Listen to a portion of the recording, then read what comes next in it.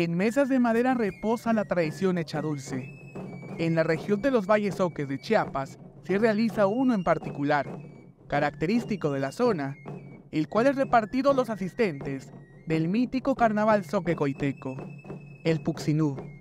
Nosotros que venimos a preparar fue la panela, partirlo, ponerlo a, la lumbre y ya que estaba la miel ya, bueno, para pegar la pepita y de ahí ya dejamos caer la, pepita y ya, ya lo hacemos el dulce pues. Y de ahí ya lo ponemos así como está ahorita aquí. eso es lo que venimos a hacer este, ahora. Eso se le llama puxinú. Y el ponzoquí pues son unas bolitas de masa hecho con manteca que se ponen a dorar en el horno después de hacer el pan. Y el puxinú es la pepita con, con panela. Ese es nuestro trabajo de venir a apoyar a los cobunas. Para poder satisfacer el paladar de las personas asiduas a los cobunas coitecos, se elaboran muchos kilos de esta preparación, en donde en meses previos a la festividad se buscan y reúnen todos los insumos necesarios para ello.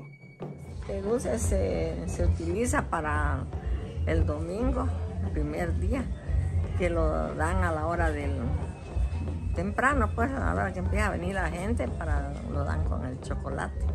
Pues la pepita se empieza a buscar en las colonias un mes antes. Todo va de acuerdo al precio, a como esté, ¿verdad? Así como ya en ese tiempo que está algo escasa la pepita, pues este, ya los comunales se van de colonia en colonia buscando su pepita para que cuando ya venga a ser la fecha próxima a la fiesta grande, pues que ellos tengan una cantidad grande para poder este, hacerlo. Pepita de calabaza y panela son los principales ingredientes de este dulce. Sin embargo, comentaron que su costo puede ser algo elevado por el valor de los insumos. Este dulce pues es como un agradecimiento al, Padre Sol por las cosechas que nos brinda, por las cosechas que nos da y así ofrecérsela al pueblo en la, fiesta grande que es el carnaval. La verdad ahorita el kilo de pepita está entre 95 y 110 el kilo.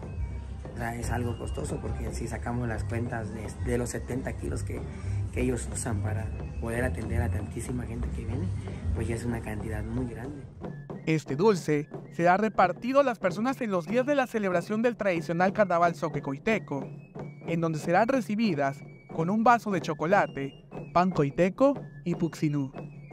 Pues, pues es un poco difícil porque hay que tantearlo muy bien para que pegue, para que pegue y para tantearle lo de la miel, pues, la miel y ya, y tiene que haber este, así como él para que, porque él tiene fuerza para, para moverlo, pues, para hacerlo para que pegue todo así como está ahorita. Y pues los invitamos, ¿no? Aquí el comunado donde estamos ahorita es el cargo del señor San Bernabé. Los espera pues con los brazos abiertos a partir del día 9 de febrero para que vengan y degusten. Principalmente pasen al altar a saludar la imagen y los que gusten apoyarnos dejando una cooperación voluntaria con la escribana que va a estar a un lado, que es la escribana quien les ofrece este dulce acompañado de su chocolatito, de su pan y de su puxino. Aquí los esperamos pues con los brazos abiertos. Para Alerta Chiapas, Eric Chandomir.